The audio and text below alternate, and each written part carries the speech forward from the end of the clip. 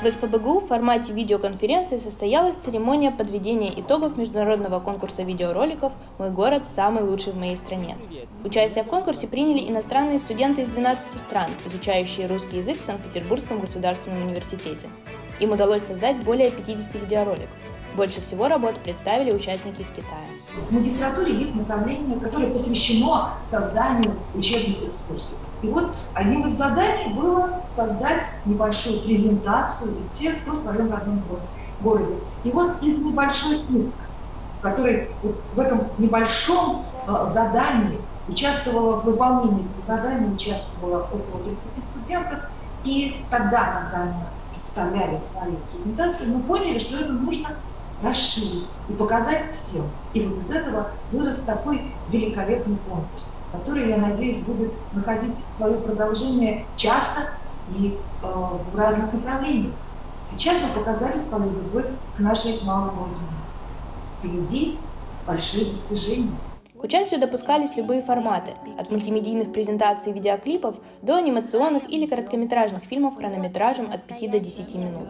В своей работе авторам нужно было рассказать о своем городе, поселке или деревне, о его истории, достопримечательностях, любимых местах, родной природе и людях. Изначально этот конкурс э, зародился здесь, э, внутри СВБГУ. Э, я хочу себя сказать несколько слов. А, конечно, такой конкурс в период пандемии коронавируса, мне кажется, имеет а, особое значение.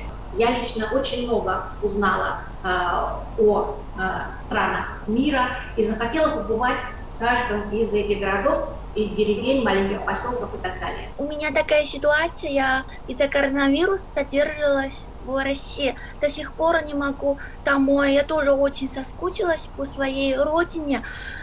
А именно этот конкурс я, как ваш экскурсовод, показал вам мой прекрасный родной город и сама тоже получила такое теплое ощущение, как будто я уже у своей родины.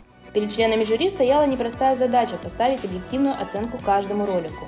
В результате первое место заняла студентка первого курса филологического факультета из ПБГУ Элара Аманова, представив ролик о городе Ашхабад.